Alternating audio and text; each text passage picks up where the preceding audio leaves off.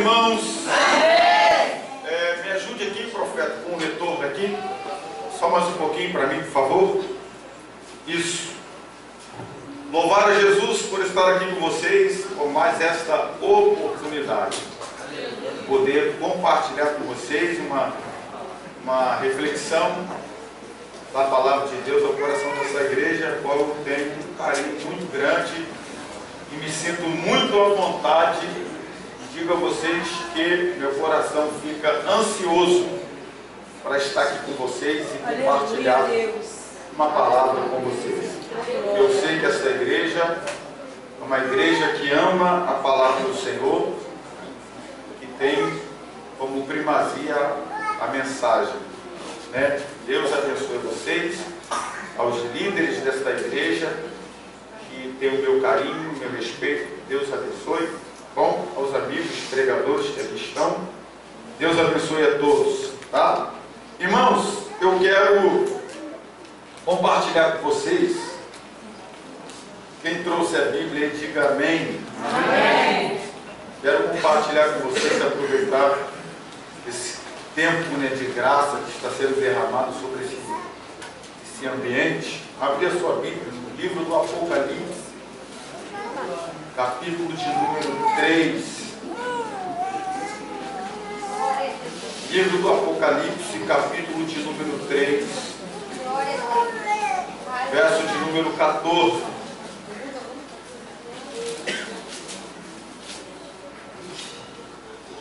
Eu estava conversando com o Felipe aqui agora, a respeito de conhecimento, conhecer, né? Falando com ele da minha trajetória lá, estudando um pouco, hein, pastor Márcio? Eu falei para ele, pastor, que ignorância nunca combinou com o cristianismo. Pode acreditar no que eu estou falando. A maior faculdade, que é Harvard, maior faculdade do mundo, e é a melhor, foi fundada por um pastor presbiteriano. Morreu de tuberculose. Então, dizer para todos vocês que estão aqui, estude mesmo. Seja advogado, médico, juiz, promotor. Não, não é, pastor? Profetizo que nesse lugar aqui, desta casa, desta igreja, haverá juízes, promotores, advogados. Porque a igreja precisa desses poderes, executivo, legislativo e judiciário. Esses três poderes têm que estar aqui dentro, na nossa igreja. É é, Márcio? Aqui dentro. Tem que estar tudo aqui. Eu acredito que, que vai ter aqui. Mas você não mora em comunidade, e daí? O lugar que você mora não define quem você vai ser. Só se você deixar. Né?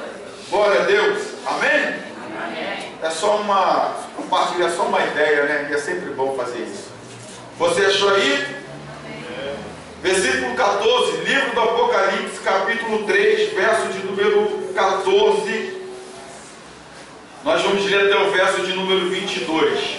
Diz assim: E ao anjo da igreja que está em Laodiceia, escreve: Isto diz o Amém, a testemunha fiel e verdadeira, o princípio da criação de Deus.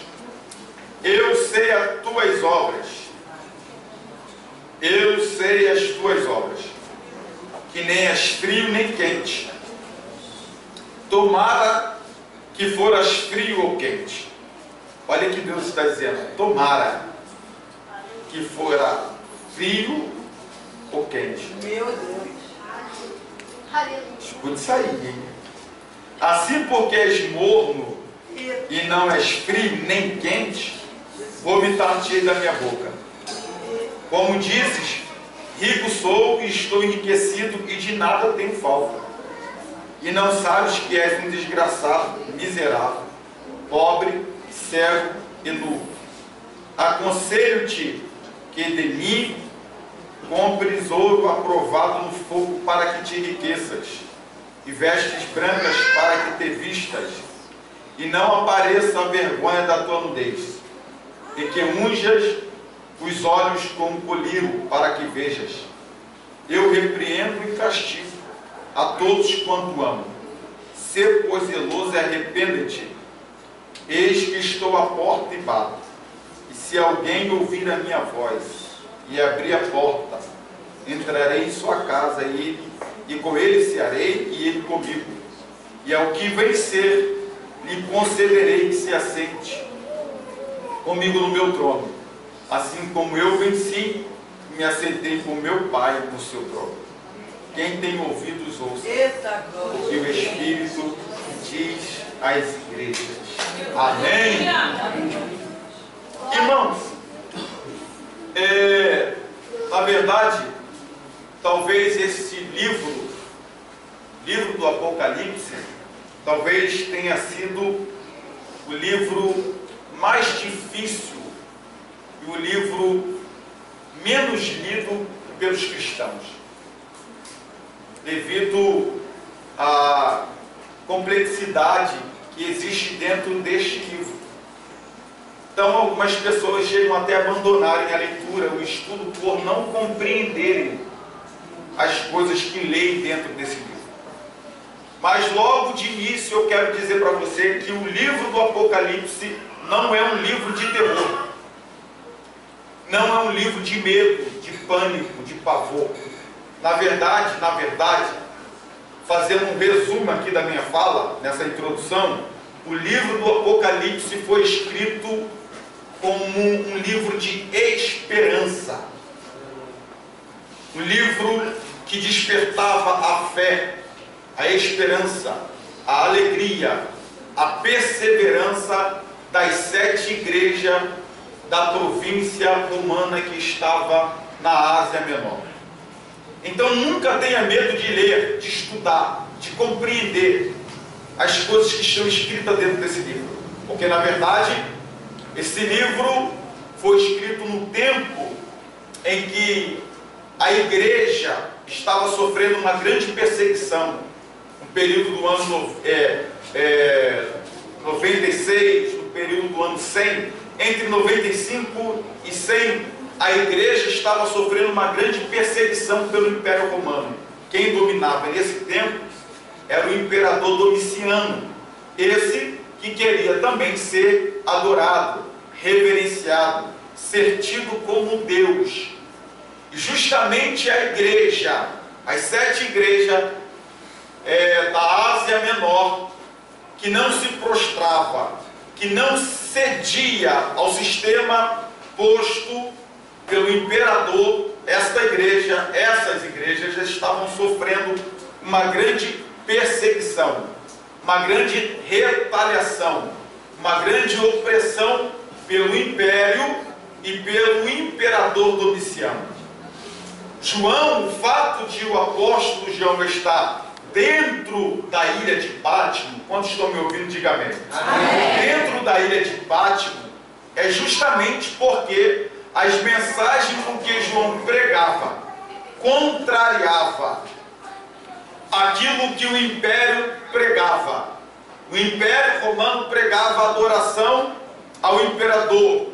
João, juntamente com a comunidade joanina, as sete igrejas da Asa Menor, decidiram não se dobrar, não é, ceder, não reverenciar. E todos aqueles que não fizessem tal coisa eram levados cativos. E João é um preso político que está dentro da ilha de Pátimo, porque as verdades das mensagens do João contrariava todo o sistema implantado pelo imperador Domiciano. Você não precisa ter medo de ler esse livro, porque esse livro, na grande maioria das falas de João, são falas simbólicas o maior problema que nós temos em estudar o livro do João, do, do apóstolo João, no livro do Apocalipse, é que nós queremos literalizar tudo e acabamos ficando confuso e não chegando à conclusão do nosso estudo. Mas na verdade você precisa entender que João ele, é, é, ele, ele usa uma linguagem simbólica, metafórica, para proteger a comunidade joanina. João está dentro da ilha de Pátimo, essa ilha que era uma ilha é, rochosa, essa ilha que durante o tempo apostólico se tornou é, abrigos para os piratas que vinham do mar. João estava dentro dessa ilha preso e ele precisava se comunicar com a comunidade joanina, lá na Ásia Menor. Por isso que ele usa algumas linguagens simbólicas, tipo como 666, tipo como a besta. Você vê João falando de dez chifres. Isso aqui, para você saber melhor, isso aqui precisa de um estudo muito aprofundado. Só que quando, para você entender resumidamente, quando João fala do 666, João está se referindo ao imperador romano, que queria ser tido como Deus. Por isso que ele fala do 666, porque o meia na Bíblia representa o número do homem.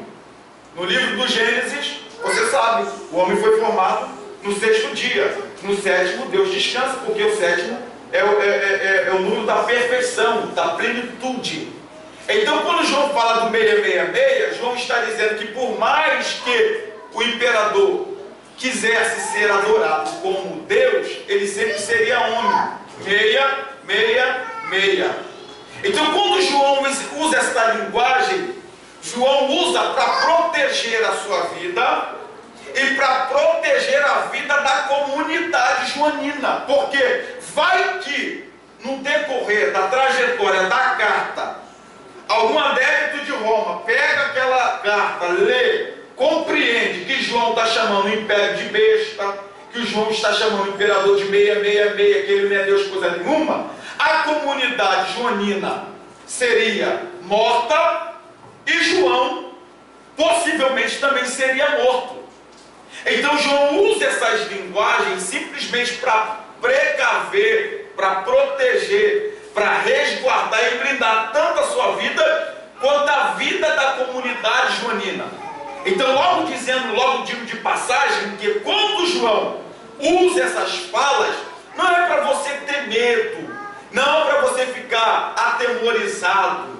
Não, essas falas são falas simbólicas, metafóricas, simplesmente para João guardar, proteger a comunidade joanina. E uma dessas cartas que João escreve foi direcionada à igreja de Laodiceia. Eu sei que quando você ouviu eu lendo sobre não és quente nem frio, és morno e vomitar-te da minha boca, eu sei que você já deve ter pensado, já vem uma pancada aí. É a ideia de vomitar, a ideia de rejeitar, a ideia de repudiar, tu já deve ter pensado, já vem logo uma pancada aí. Outra coisa que eu quero lhe falar, essa questão de quente ou frio, pelo menos aqui no estudo que eu fiz, dentro do livro do Apocalipse, não está relacionado com uma questão de culto e de comportamento de culto.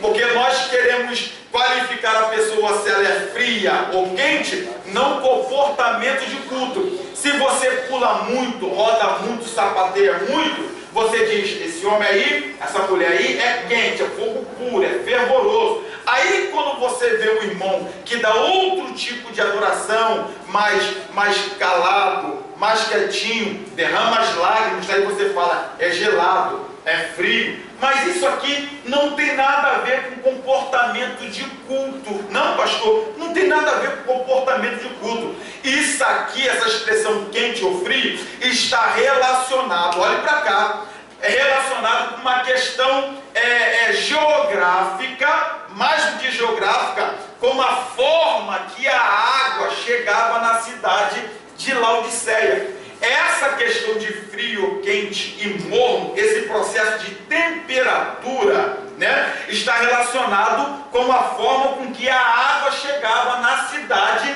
de Laodiceia. Como assim, pastor? Primeiro, a cidade de Laodiceia foi fundada por Antíoco II em 261, 246. Ele dá esse nome de Laodiceia a esta cidade em homenagem à sua esposa chamada Laudique. Essa cidade de Laodiceia, ela ficava à beira do rio Lico, entre duas cidades, entre a cidade de Eriápolis e a cidade de Colosso. A cidade de Colosso ficava a 9 km a sudeste da cidade de Laodiceia. A cidade de Eriápolis ficava a 8 km ao norte da cidade de Laodiceia. Essas três cidades ficavam no, à beira, a, a, no limiar do rio Lico, e juntas três formava uma tríade, um triângulo de poder e de riqueza. Por quê? Porque existia pontos importantes, é, estradas que ligavam a cidade de Laodiceia a pontos importantes da Ásia Menor, que ajudava a cidade de Laodiceia no processo de comercialização, de ir e de vir. E isso fez com que é, Laodiceia crescesse pujantemente. E outra coisa, Dentro da cidade de Laodiceia existia bancos. A cidade de Laodiceia, segundo Cícero, tinha um dos comércios mais prósperos. Era a cidade de Laodiceia. Cícero afirma isso. Ao ponto de se tornar uma cidade bancária, por tanto movimento de dinheiro que ela fazia. Por quê? Na cidade de Laodiceia se vendia tecidos Tecidos. Você sabe que a cidade de Laodiceia tinha fábrica de tecidos. E existia um tecido que pregadores aqui sabem que é o tecido negro, que era muito caro e muito raro, só se tinha lá. Então, na, na venda, na compra, na negociação, ela teve um boom no seu comércio. Então, movimenta-se muito dinheiro ao ponto de se tornar uma cidade bancária que movimentava muito dinheiro, alguns historiadores chegam a dizer que movimentava-se ouro, movimentava-se prata. Essa era a cidade de Laodiceia, muito rica, muito próspera. E tem mais, dentro da cidade de Laodiceia tinha uma faculdade que as pessoas iam para se formar lá, uma faculdade de, trata, de, de, de, de oftalmologia que ajudava no tratamento das vistas as pessoas que precisavam se tratar recebiam um colírio que só tinha lá. Ela ajudava no processo de recuperação da visão das pessoas. Além das pessoas serem curadas na cidade de Laodiceia, essas pessoas também estudavam e se formavam dentro da cidade de Laodiceia. Pastor, por que o senhor está dizendo isso? Eu estou dizendo para você que a cidade de Laodiceia tinha todos esses adjetivos que lhe tornava uma cidade próspera, forte, forte politicamente, forte comercialmente, forte culturalmente e religiosamente. Por quê? Porque todos esses adjetivos tornavam ela esta cidade grande, tão grande que em Apocalipse 3:17 ela bate no peito e fala: "Rico eu sou e não tenho falta de nada. Ela se achava autossuficiente, não dependia de ninguém para nada. Só que Laodiceia tinha um ponto negativo importância. Que ponto é esse, pastor? Ora, Laodiceia tinha problema de água. Não tinha água na cidade de Laodiceia. E de onde que vinha a água da cidade de Laodiceia? Como eu disse para você, vou repetir. Ela está entre duas cidades. Cidade de Colosso e a cidade de Eriapos. As águas de Laodiceia vinham da cidade de Eriápolis, vinham de lá. Só que a cidade de Eriápolis, as águas de Eriápolis, as fontes de águas, eram fontes termais, de águas quentes. Alguns historiadores chegam a afirmar que as águas de Laodicea chegavam a 80 graus. Olha como ela era quente. Ó, olha isso aqui, como ela era quente. Então, olhe para cá. Quando Deus fala antes fosse quente para a cidade de Laodiceia, é porque a água que vinha de Eriápolis, ela vinha quente. Eu não sei se alguém aqui já foi à cidade de, a, ao estado de Goiás e chegou a ir em Caldas Novas, mas em Caldas Novas, as águas de Caldas Novas são quentes também, águas termais. Existem resorts lá, existem pessoas que vão para lá para passar férias, e não só isso, existem pessoas que fazem tratamentos, por quê? Porque a água quente, pastor, tem uma capacidade de curar. Alguém que joga bola aqui vai entender o que eu estou dizendo. Quando você sofre uma luxação, uma pancada, uma luxação, automaticamente você faz uma compressa de água quente com água gelada. Porque a água quente tem a capacidade de cura, tem a capacidade de diminuir a luxação. Quando Deus fala para Laodiceia, antes fosse quente, o que Deus está dizendo para ela é simples. Você quente tem a capacidade de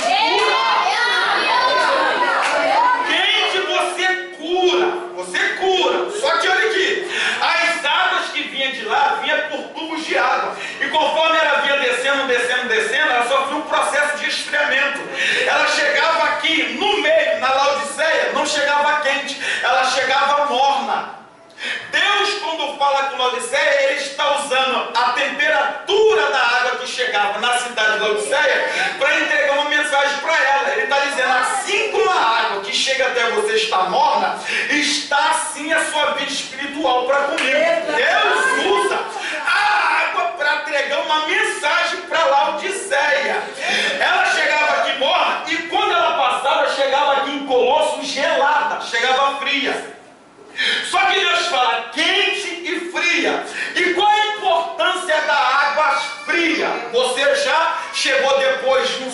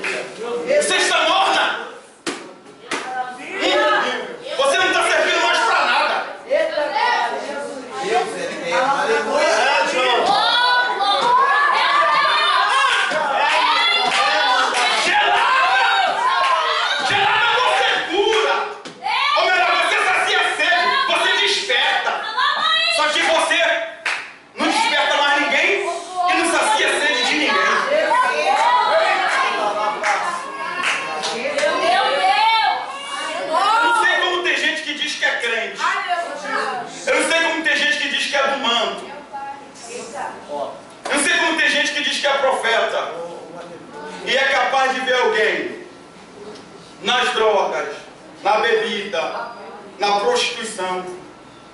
É mais provável ele falar mal do que levar água para saciar sede. Meu Deus!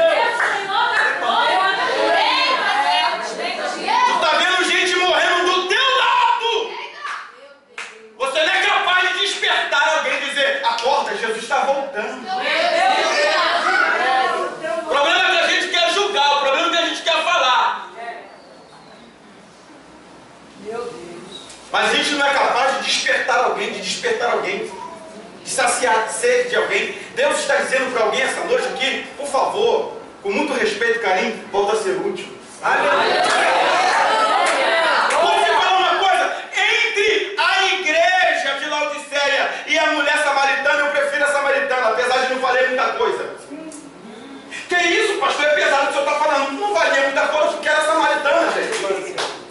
Jesus. Samaritano e judeu não se combinava. Judeu olhava para o samaritano e dizia: não presta, raça ruim. Uma guerra desde 722 a.C. Todo mundo sabe disso. Dali para cá, judeu e samaritano não se ligavam. Mas entre a samaritana e a, a, a Laodiceia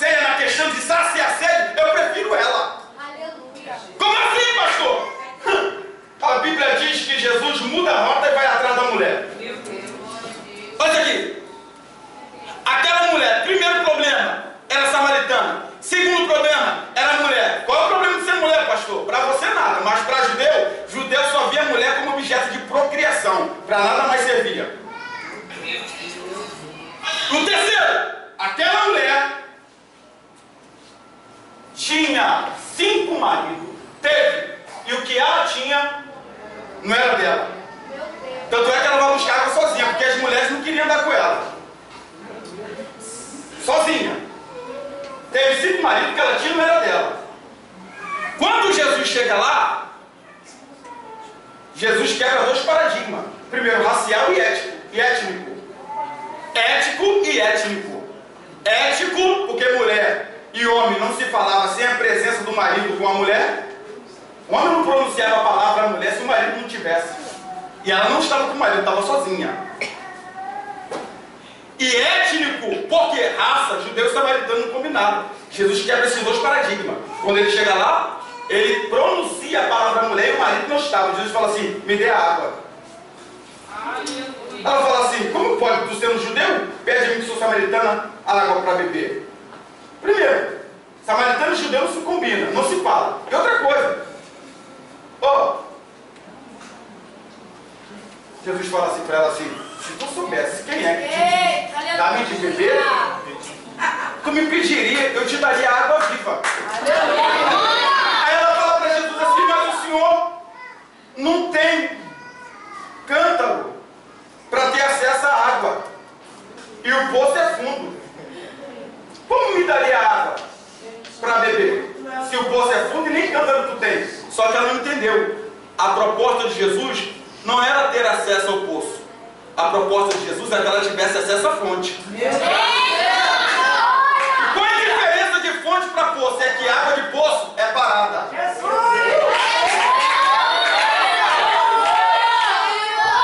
Como assim? A água de poço não muda. Você tira a água agora, depois de cinco minutos, volta a tirar a água. É a mesma água que você tirou cinco minutos atrás.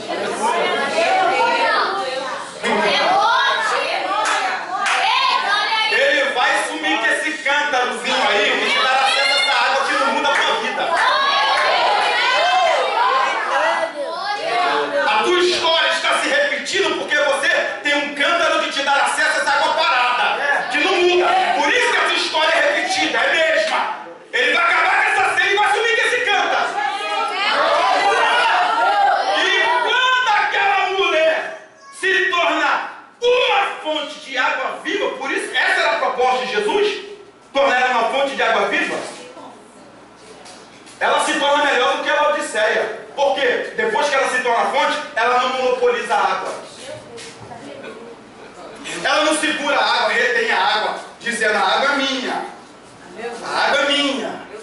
É só minha, não. Aquela mulher se tornou fonte. Fonte não pode ter medo de acabar água, acabar água é poço. Fonte não. Fonte quanto mais água tira, mais água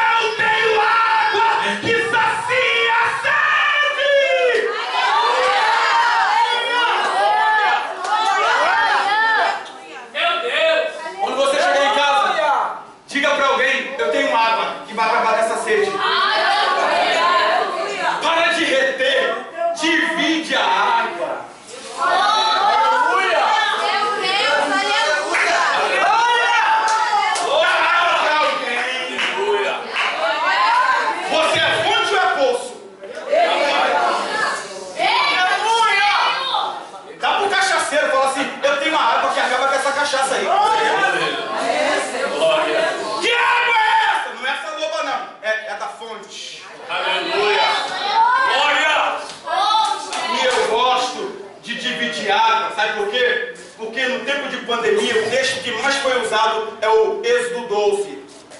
Não foi ou não foi? Sangue nos umbrais da porta. Mas olha isso aqui. Olha o que Deus diz para o povo de Israel.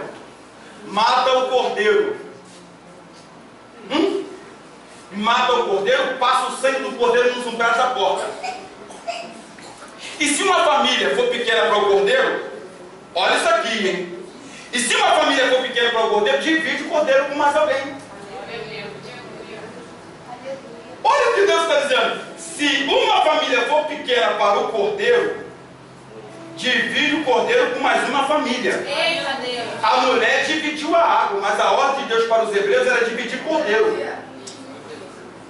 Só divide o cordeiro quem entende que o cordeiro é maior do que a família. Sabe por que você não dividiu um pedaço do cordeiro ainda? Porque você acha que é maior do que ele. Está enganado. Ele é maior do que você.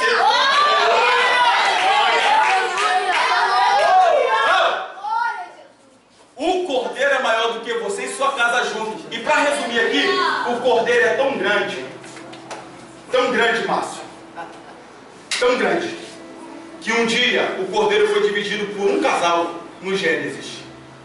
Só que um casal não bastava para um cordeiro. Ele era, ele é tão grande, tão grande o cordeiro, que um dia no êxodo foi dividido por uma família, mas uma família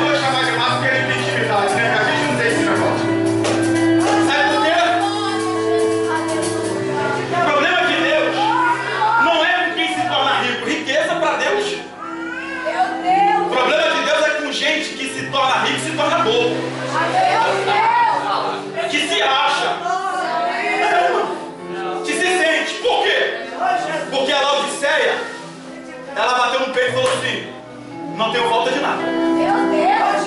Não dependo de ninguém para nada. Sou rica. Oh. Estou enriquecida. E de nada tenho falta. Olha que Deus fala para ela: Tu não sabe que tu és pobre. Meu Deus! Deus botou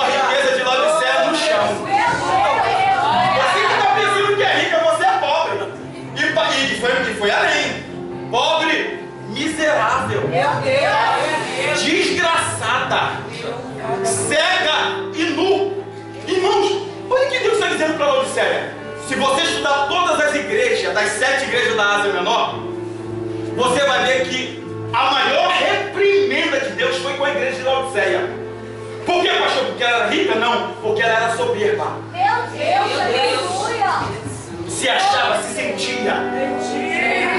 Quando você estuda a igreja, Filadélfia que antecede a essa, de Laodiceia, a Filadélfia chega para dentro e fala assim, Márcio, pastor, eu sou fraquinha. Ó Deus, vou te falar, estou capengando. Estou quase parando, estou me arrastando. Eu estou indo na força. A pressão está grande. Mas não estou negando teu nome, não. Estou indo me arrastando, mas não nego o nome. Eu não me dobro diante do imperador.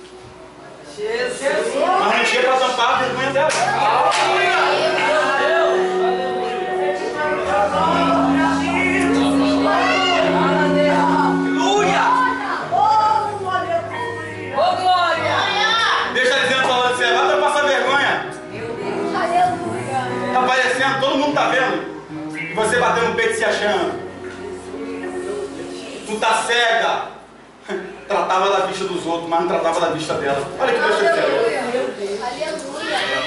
Hã? Aí ele vai dizer assim, já vou encerrar. Este estou a porta e bato.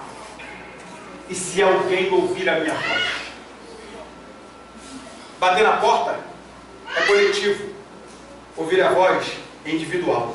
Aleluia. Por isso que ele diz, este estou na porta da igreja e bato. E se alguém, ele diz, e se todos ouvirem, ele diz isso. Ele diz, se alguém. Porque é possível estarmos todos reunidos aqui, agora. E sair gente daqui dizendo assim, eu não consegui ouvir a voz dele. Aleluia. É, porque bater na porta é coletivo, ouvir a voz é individual. E se alguém ouvir a minha voz. Hum? Por que, que Jesus disse se alguém ouvir a minha voz? Deixa eu te explicar uma coisa aqui. Jesus disse: As minhas ovelhas conhecem a minha voz. Por que Jesus disse as minhas ovelhas conhecem a minha voz? Porque posso te dizer uma coisa? No século I, na Palestina, os pastores colocavam os rebanhos, as ovelhas, dentro de um só aprisco. Todos os pastores dentro de um aprisco só. Pela manhã ele tinha que vir e recolher o rebanho e levar para o pasto, beber água, comer. Só como que reunia cada um seu rebanho estava tudo misturado. Mas cada pastor tinha um gesto e uma palavra-chave que reunia, agrupava todo o rebanho de uma vez só. Ele não precisava sair catando. Por que, que Jesus disse: As minhas ovelhas ouvem a minha voz e a conhecem? Porque é possível alguém usar o gesto do pastor, a palavra do pastor, mas não seu pastor. Meu Deus. Aleluia. Pode ter a mensagem do pastor, o canto do pastor, a visão do pastor, mas não seu pastor. Meu Deus, E aleluia. quem conhece a voz do pastor Glória a não Deus. vai para qualquer canto. Glória a Deus. Aleluia. Aleluia. Aleluia. Aleluia. Maria Madalena conhecia tanta a voz do pastor dela, que quando Jesus ressuscita, ela vai procurá-lo. E ela estava olhando para o sepulcro, e Jesus diz: Maria Madalena! Ela descosta, diz: Rabi! Ela não precisou virar para reconhecer, porque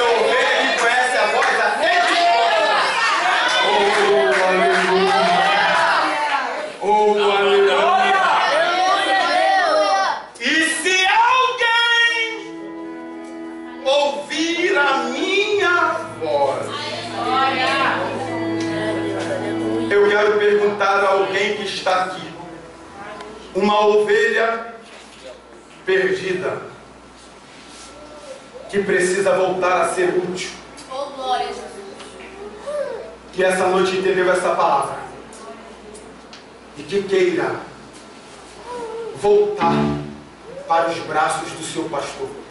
Aleluia. Há alguém aqui essa noite que entendeu essa simples palavra e que diz, pastor, eu quero voltar. Eu quero voltar a ser um. Eu quero voltar a trabalhar. Eu quero voltar a me envolver. Eu quero voltar a ser crente tem um, um jovem lá atrás, alguém pode trazer ele? Aleluia, Jesus!